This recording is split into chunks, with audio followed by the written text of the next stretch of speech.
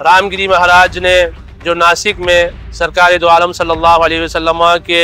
खिलाफ जो तहरीर दहनी और गुस्ताखी का मुजाहरा किया है उसके खिलाफ हमने अहलियान गुलबरगा की मुसलमानों के जज्बात की तर्जुमानी करते हुए रोजा पुलिस स्टेशन लिमिट में एसीपी साहब की मौजूदगी में सर्कल साहब को जो है ना हमने एक कंप्लेंट दिया है। अल्लाम वरहमतुल्लाहि वबरकातुहू। आज तेईस अगस्त दो हज़ार चौबीस बरोज़ जुमा रसा अकेडमी शाह गुलबरगा की जानिब से एक कंप्लेंट एसीपी साहब को और यहाँ के सर्कल साहब के थ्रू जो है दी गई है। ये कंप्लेंट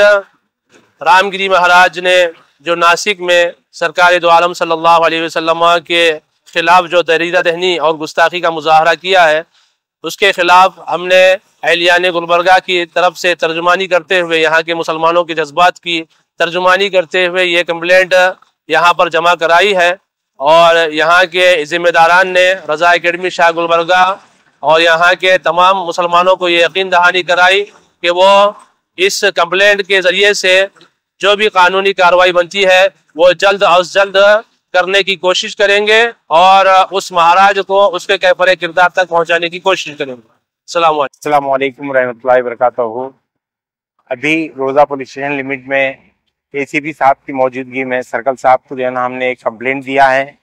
रामगिरी महाराज के खिलाफ। तो एसीपी साहब ने हमको तयन दिया है कि जो भी कानूनी गिरफ्त होगी, हम उस हिसाब से उन पर कार्रवाई करेंगे बोलकर जो है ना तयन दिया है। हम उसी पर जो है ना ये करते हुए इतफाक करते हुए जो है ना हम निकले हैं।